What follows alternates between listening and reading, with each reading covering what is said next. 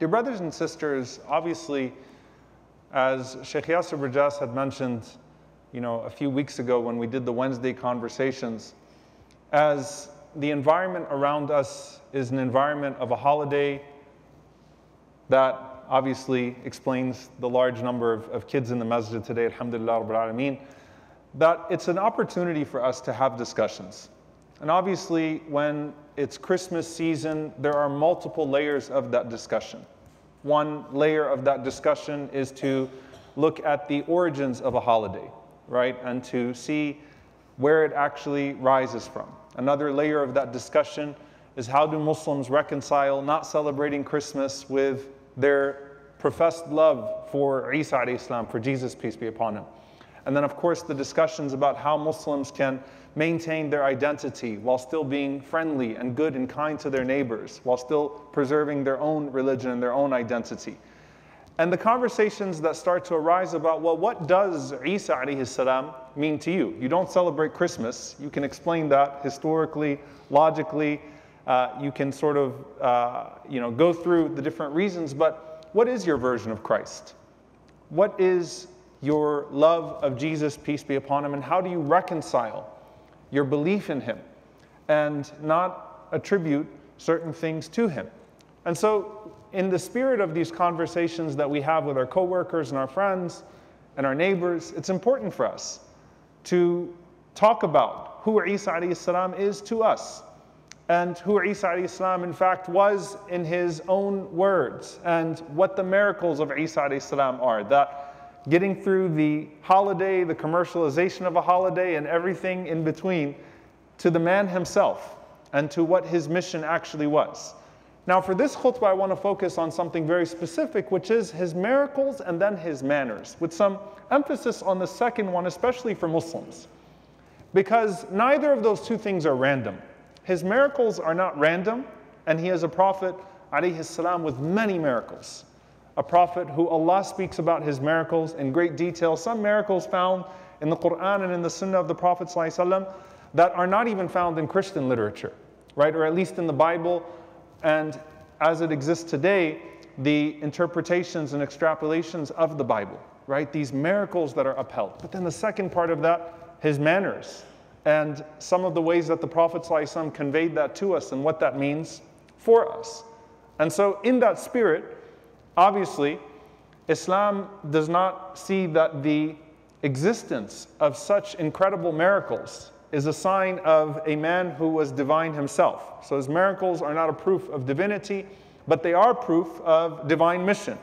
And his manners, just like the other prophets, when Allah gives us a window into the manners and into the character of the prophets that came before, they're not merely to be admired, but to be absorbed, to be lived in our own lives, so that we can draw from the wisdom of Isa alayhi salam, this noble and mighty prophet that the Prophet sallallahu alaihi wasallam said that there is no person who is closer to Jesus, the son of Mary alayhi salam, because there is no prophet between he and I. A prophet who is mentioned in the Quran over 25 times. A prophet that some of you are named after. And subhanAllah, if we look around the Muslim world, you find the name Isa present throughout the Muslim world out of love and out of reverence uh, for this man, alayhi salam. And it starts with the miracle of his birth.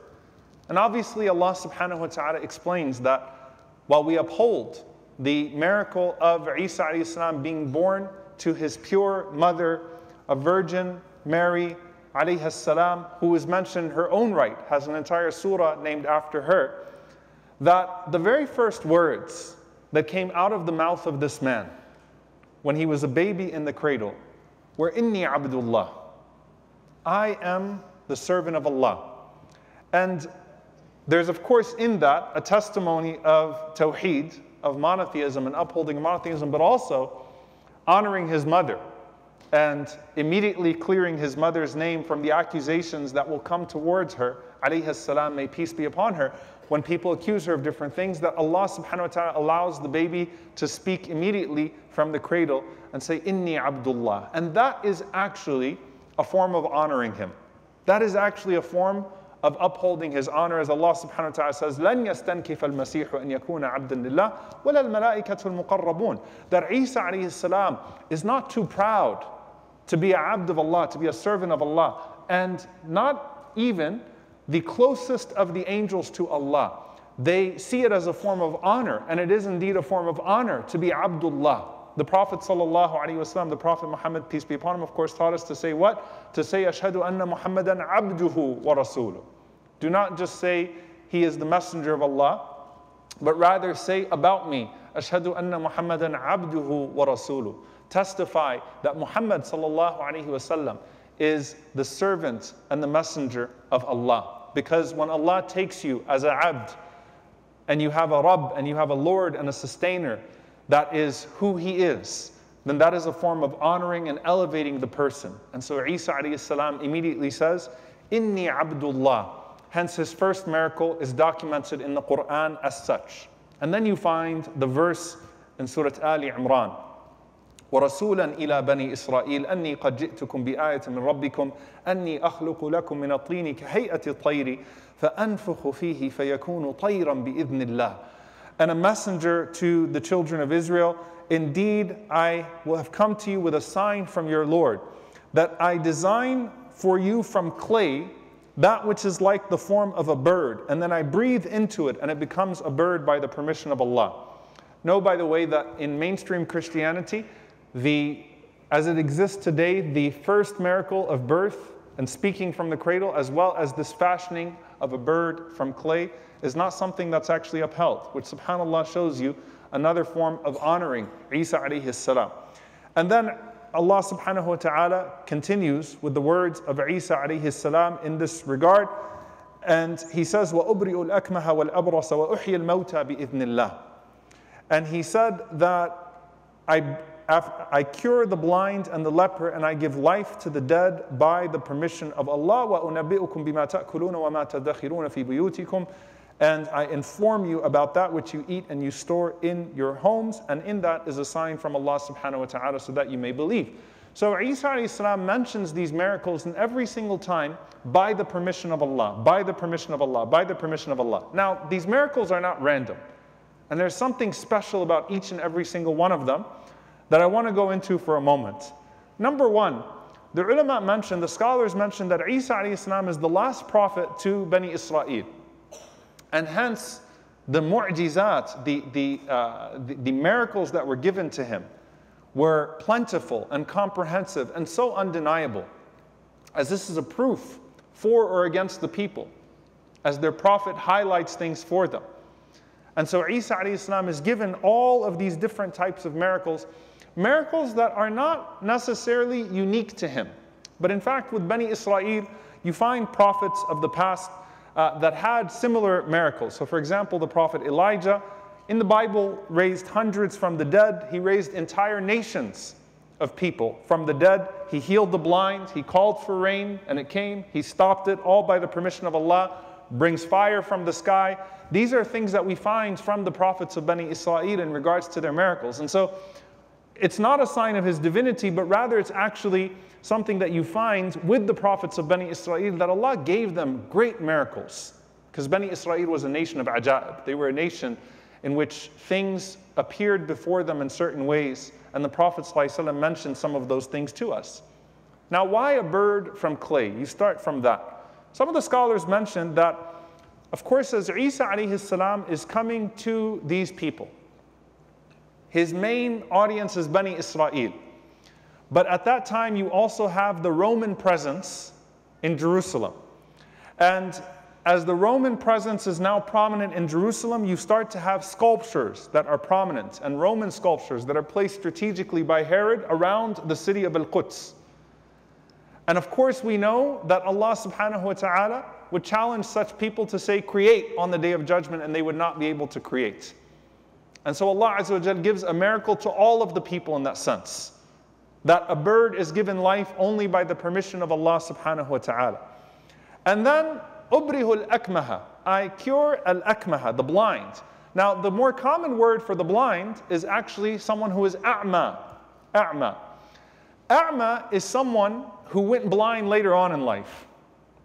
Okay? Here, you're talking about a person who is actually born blind and known their entire lives to not be able to see.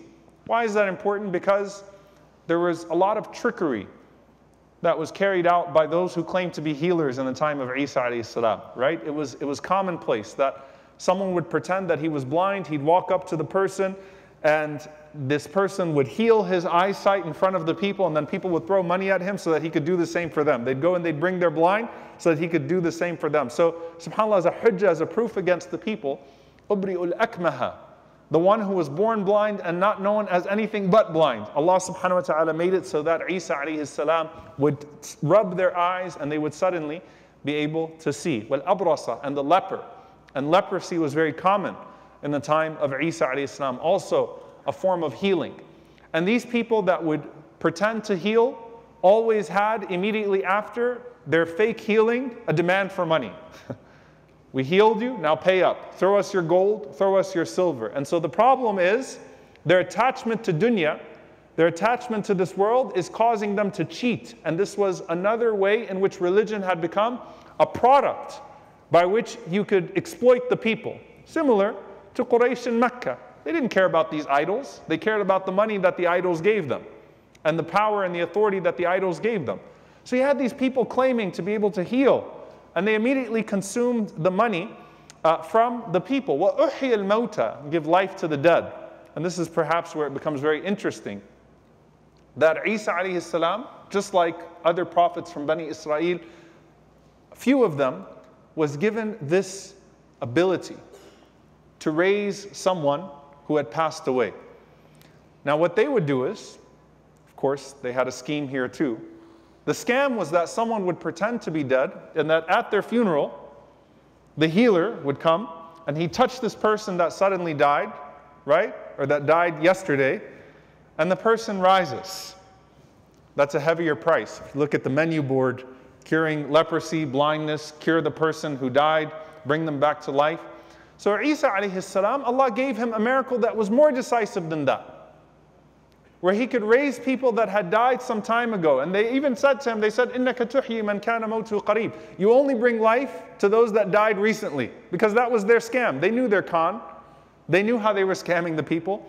So Allah subhanahu wa ta'ala makes it so that Isa alayhi salam could go to the grave of a person who died hundreds of years ago and say, Bismillah and raise that person from the dead.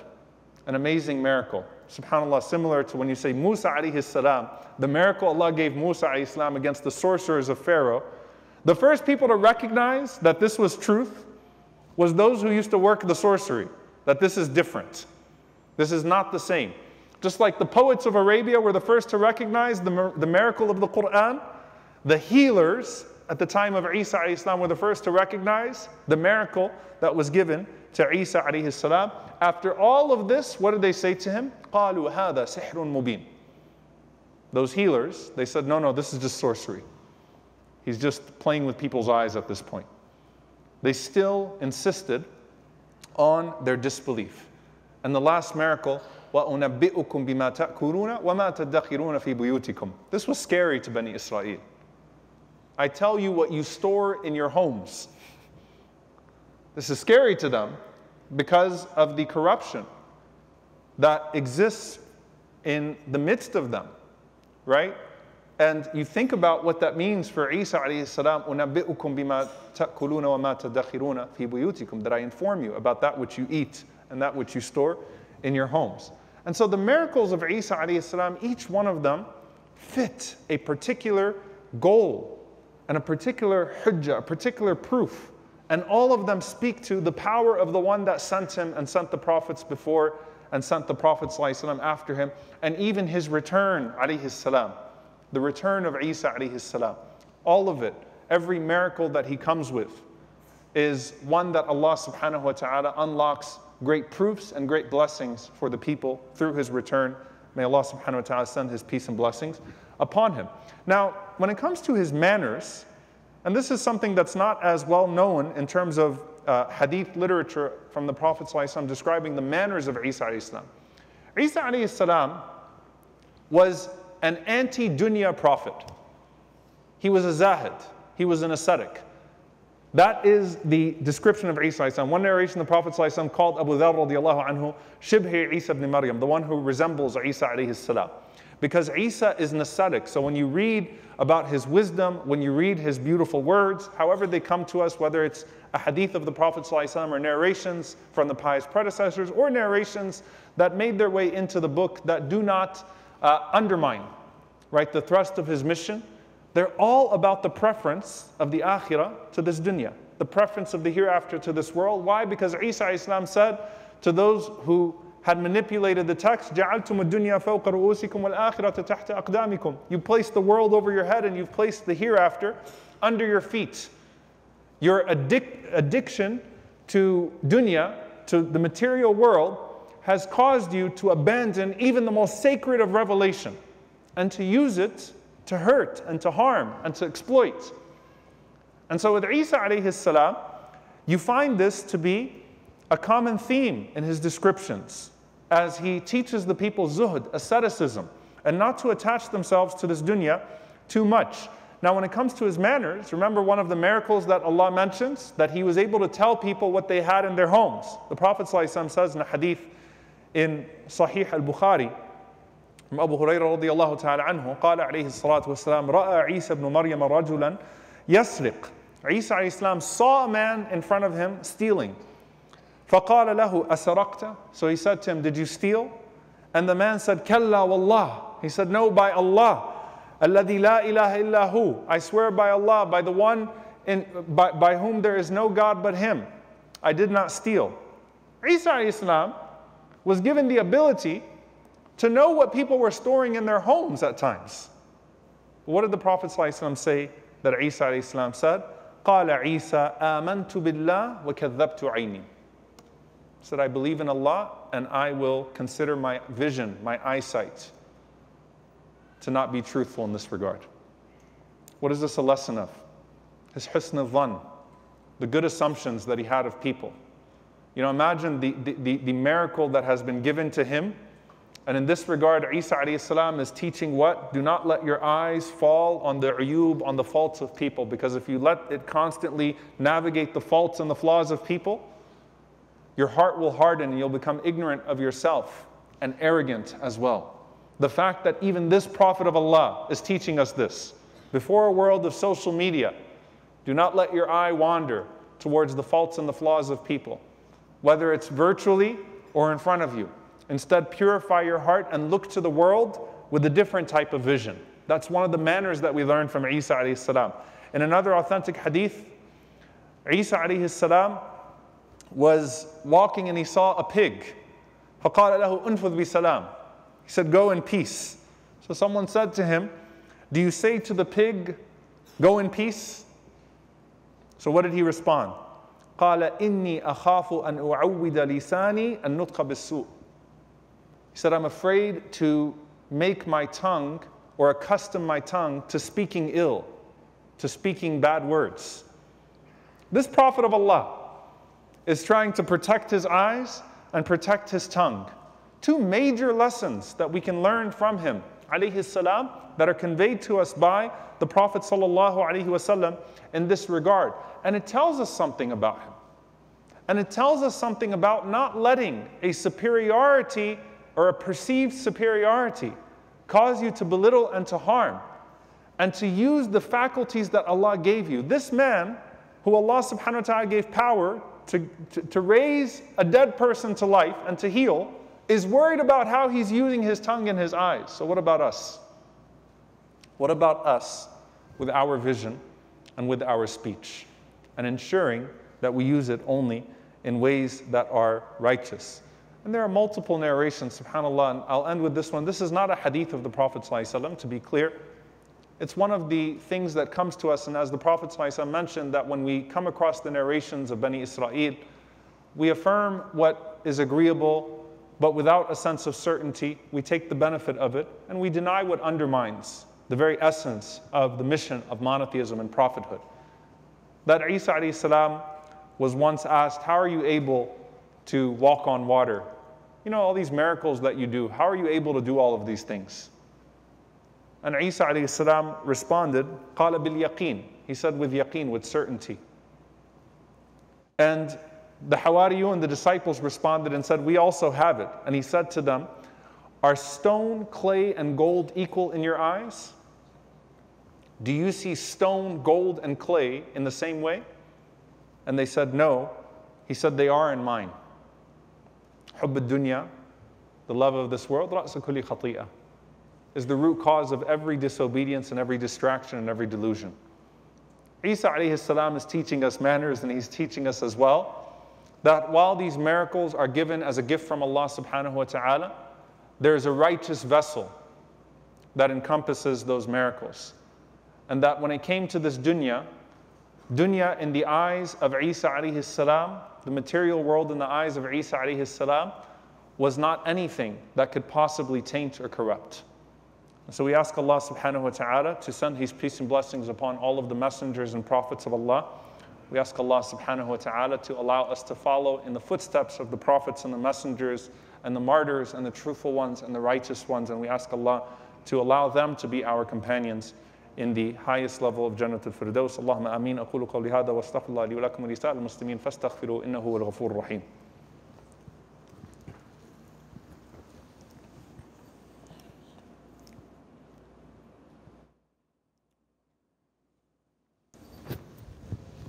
الحمد لله والصلاة والسلام على رسول الله وعلى آله وصحبه ومن والاه اللهم اغفر للمؤمنين والمؤمنات والمسلمين والمسلمات الأحياء إنك سميع قريب مجيب الدعوات. اللهم اغفر لنا وارحمنا. واعف عنا ولا تعذبنا. ربنا ظلمنا أنفسنا وإن لم تغفر لنا وترحمنا لنكونن من الخاسرين. اللهم إنك عفو كريم تحب العفو فاعف عنا. اللهم اغفر لوالدينا. رب ارحمهما كما ربونا صغارا. ربنا هب لنا من أزواجنا وذرياتنا قرة أعين. وجعلنا للمتقين إماما. اللهم انصر إخواننا المستضعفين في مشارق الأرض ومغاربها. اللهم أهلك الظالمين بالظالمين وأخرجنا وإخواننا من بينهم سالمين. عباد الله أن الله يأمر بالعدل والإحسان وإيتاء ذي القربى وينهى عن الفحشاء والمنكر والبغي يعظكم لعلكم تذكرون. فاذكروا الله يذكركم واشكروه على نعماء يزد لكم ولذكر الله أكبر. والله يعلم ما تصنعون. وأقم الصلاة.